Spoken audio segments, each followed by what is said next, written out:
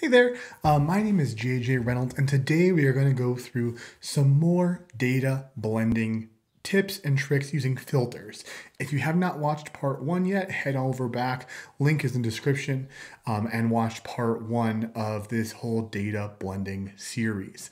Today we're going to talk about filters, uh, how you can layer them together to have multiple behaviors uh, that you're going to then blend together. Okay, um, let's hop right into it. But first, make sure you download the good old cheat sheet as well as lots of other free and fun uh, things over on datastudio.vip forward slash YouTube if you have not yet. Just want to let you know that is there for all of your learning needs. So let's just hop right into it, everybody. So here is our plan is we are going to have one data source that has multiple behaviors in it. We're going to use Google Analytics 4. And so here uh, we're going to talk about behavior one of being a scroll. So 10% scroll. Then we're going to have behavior two, which was going to be, for example, 25% scroll. Then behavior three being again 50% scroll etc etc and so the reason we're going to blend is because we cannot use this as a specific dimension for some unique uh, charts. So that's what we're going to do. I'm going to show you how to add filters to your blends to do something amazing. So let's just hop right into it. Boom hopping right into it. Okay so let me get my ugly mug mug here out of the way and let's have a chit chat. So here we go. Um, what we want to do is we want to take this. This is our overall uh, data studio or GA4, right?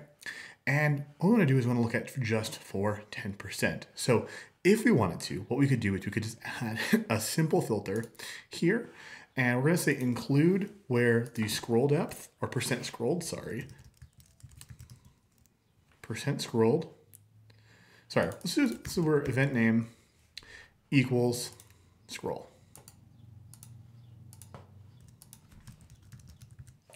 And make sure you have your naming conventions. So here we're going to do I event name equals scroll.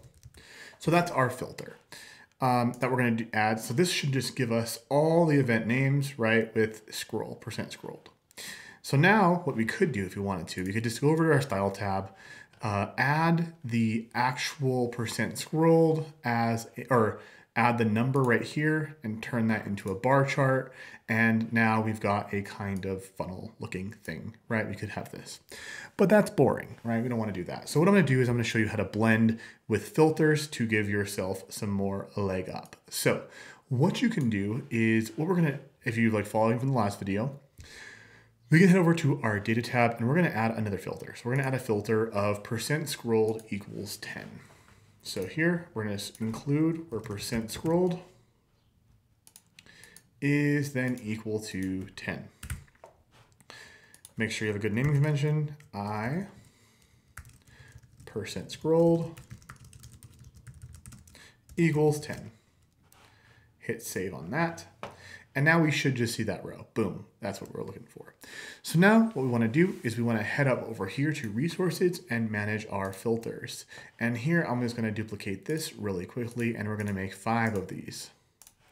So now we're gonna head up in here to edit this. We're gonna change this to 25, change this to 25, and rename our good old uh, thing to 25. Boom. All right, hit save on that.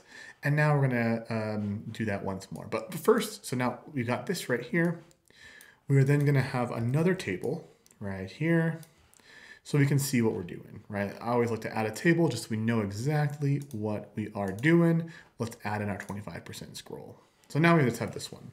So what we can actually do here is we can actually blend these together. So I'm gonna right click here, hit blend data, what's going to happen is we're create a new data source and we're going to edit that data source. So here you can see we've got event name, percent scrolled, all that jazz. We don't need event name. We don't care. We don't even need percent scrolled. We don't care. All we want to see is the event count of the scroll and the 10. And so what I'm going to do is I'm actually going to add here event count. We're going to have sessions and we're also going to add users because we never know what type of information that we're going to look for. And I'm gonna do the same thing here where we have sessions and we're gonna add also total users. And so right now we are looking at a, a the type of join, right? We did have a left join, that's what it defaulted to. And what I'm gonna actually change it to is a left join, but we're gonna actually change it to a cross join, which is gonna return every possible option. And now I'm gonna show you what that looks like. So now what we have in our new data source, which I'm gonna name scroll depth,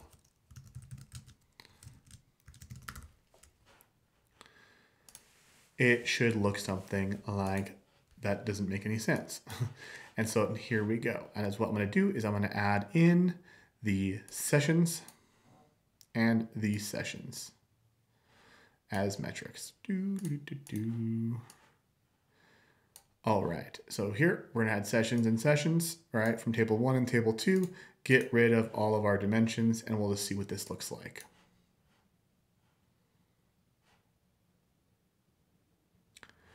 It's gonna take its sweet time because we're recording. And what I'm gonna do is just hit refresh just because sometimes things like to take their time, but they don't need to.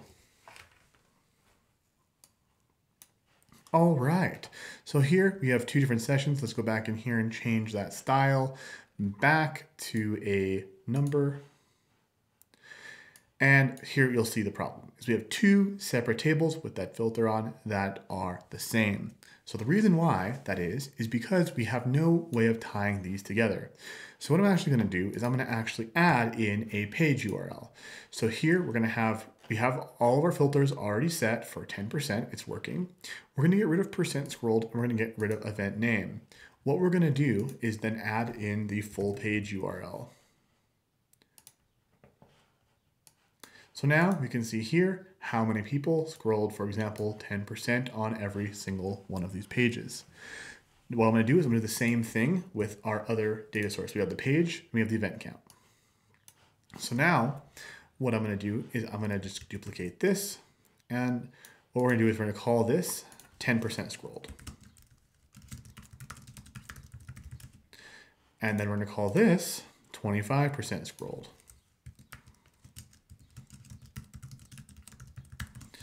So now what you can see here is I hopefully you see where we're moving towards is we're then going to change this to our 25% scrolled.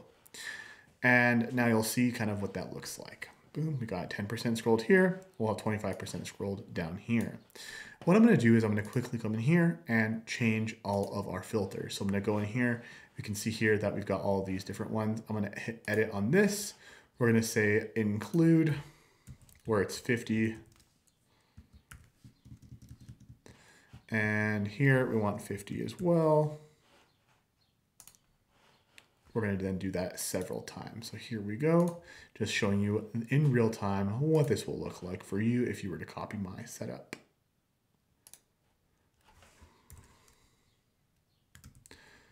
All right, here this, we're to then go 75 equal to 75, hit save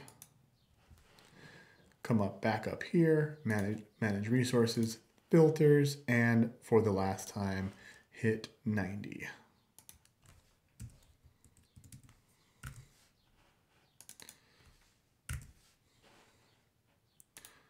All right, so now we have our filters set. So what I'm gonna do is just quickly run in here. So we've got 10, we've got 25% here. And we're gonna make these little chunky boys a little nice and thin I'm going to duplicate this, add in our 50% scroll, right? That's what we want to do here. And 50% scroll then allows us to rename this. I can, again, lots of labor when you're blending multiple things here, but we want to make sure we do it right on the, the first try. And here we're going to have 75% scroll. And add a filter down here.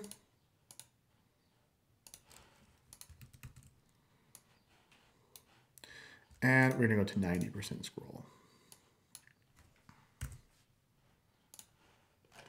Come down here, bada bing, bada boom, we are off to the races. Okay, so now let's unselect this. What we're gonna do is we're gonna select each and every one of these starting with 10%, moving our ways down. So click, shift, hold shift, hold shift, hold shift. We got all five selected, right click, and we are gonna hit blend. This is going to try its best to join, and I think it has done, did it right. So here we have a left join, right, with a 10%. So then the next one is joined to that one, joined to that one, joined to that one, etc. So now we have our beautiful blended data source, which I'm going to delete these old ones because we don't need them. And I'm going to create a new page just so that for the sake of our example here. So let's just duplicate this, head over here into our new version